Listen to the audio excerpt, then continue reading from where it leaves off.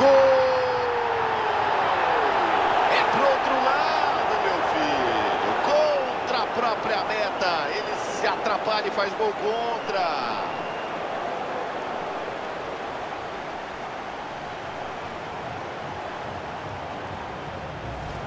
E aí a gente revê um momento de infelicidade pelo qual ninguém quer passar. Gol contra.